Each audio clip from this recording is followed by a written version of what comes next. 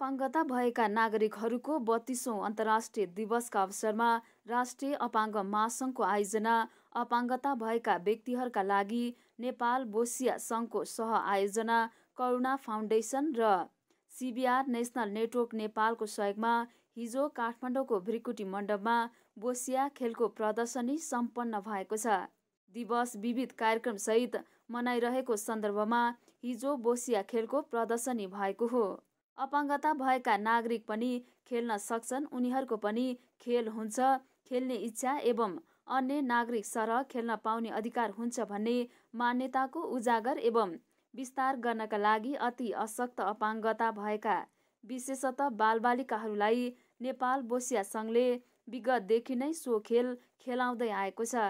Nepal boccia सङ्घकी अध्यक्ष गोमा पौडेलले boccia खेलबारे बोल्दै यस खेलले बालबालिकाहरूलाई अनुशासित र मनोरञ्जन प्रदान गर्ने बताएकी छिन्। राष्ट्रका लागि खेलकुद सबैका लागि खेलकुद अनुशासनका लागि खेलकुद भन्ने गरिन्छ होइन। तर सबैका लागि खेलकुद हामीले भन्छौँ किनभने हाम्रो नारा नै सबैका लागि खेलकुद अरूले सबै खेल खेल्न सक्छन् तर यी व्यक्तिहरूले कम्पिटिसनको रूपमा रसिया खेल खेल्न सक्छन्। त्यसैले पनि हामीले यिनीहरू लाभान्वित छन्। त्यसमा पनि अहिले एकजना भाइ आज पनि खेलेका छन्। उहाँको घर चाहिँ हुम्ला हो उनले चाहिँ खेल भएपछि अर्कोपटक खेल कहिले हुन्छ भनेर उत्सुकता भएका हुन्छन्। अनि फेसबुकमा अब अथवा कतै एउटा सानो प्रोग्राम भएर फेसबुकमा राख्यो भने उहाँले यो खेलमा किन बोलाइएन भन्ने खालको पनि अवस्था आउँछ। र कुनै खेल गर्न ला सुरु गरियो तर देख्यो उनीहरूलाई खबर गरिएन भने पनि हामी यसमा सहभागी के के गर्नुपर्छ कसरी गर्नुपर्छ भन्ने जस्तो जागरुक रहेका हुन्छन्। र हरेक खेलाडीले फेसबुक मेसेन्जरमा जोड्न चाहन्छन् र धेरै उनीहरूले क्वेसन गरिरहेका हुन्छन् हामीले खेल्न कति पटक पाउँछौँ कम्तीमा पनि महिनाको एकचोटि खेल्न पाउँ अथवा महिना वर्षको पाँचचोटि खेल्न पाउँ भनेर उनीहरूले क्वेसन गरिरहेका हुन्छन्। त्यसैले लाभ चाहिँ एकदम छ। सो कार्यक्रममा करिब पचासभन्दा बढी अति अशक्त अपाङ्गता भएका बालबालिका उनीहरूका अभिभावक र विभिन्न अपाङ्गता अधिकारको आन्दोलनमा क्रियाशील सङ्घ संस्थाका प्रतिनिधिहरूको उल्लेखनीय उपस्थिति रहेको थियो। दिगो विकास लक्ष्य प्राप्तिको प्रतिबद्धता अपाङ्गता भएका व्यक्तिको अपनत्व र नेतृत्व सहितको एकबद्धता भन्ने राष्ट्रिय मूल नाराका साथ महिला बालबालिका तथा ज्येष्ठ नागरिक मन्त्रालय र राष्ट्रिय अपाङ्ग महासङ्घको संयुक्त आयोजनामा सप्ताहव्यापी रूपमा विविध कार्यक्रम भइरहेका छन्। बोसिया खेलबाट अपाङ्गता भएका व्यक्तिहरूले पनि आफ्नो जीवनमा केही गर्न सक्ने हौसला लिएर अगाडि बढेको देखिन्छ।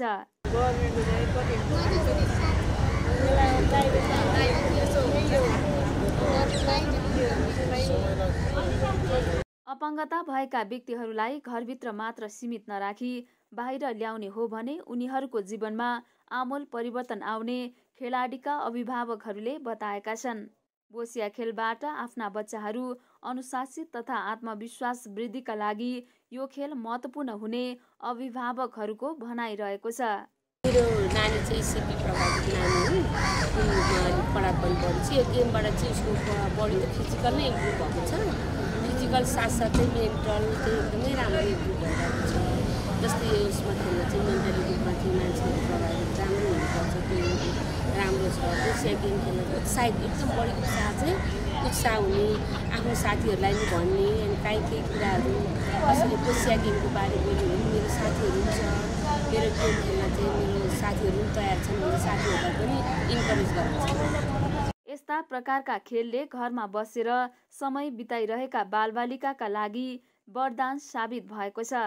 एक्लोपन र हिन्नमा अशक्तताका कारण घरमा खुम्चिएर बसेका ती बालबालिकाका बीच आपसी सम्बन्ध स्थापित गर्न तथा मनोरञ्जनका निम्ति उपयोगी हुने भएकाले यस खेललाई राज्यले अपाङ्गता मैत्री खेलको रूपमा विकास गरी राष्ट्रिय खेल सरह मान्यता दिनु आवश्यक देखिन्छ।